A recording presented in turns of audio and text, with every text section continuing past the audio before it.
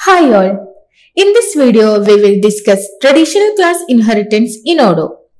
During module customization, there may be many situations where we need to inherit an existing model in order to extend its functionality. This may be creating a new field or altering an existing method. So let's see how we can use traditional class inheritance in Odoo. For inheriting an existing model, we use the keyword inherit equal to class name. So here we can see many models inherited. Let's see one in detail.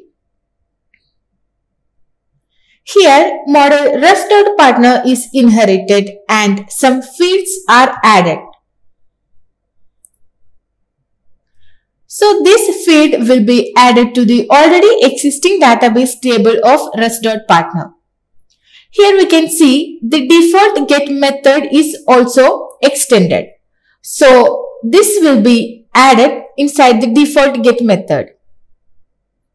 Also, some new methods are defined which will be included inside this model res.partner.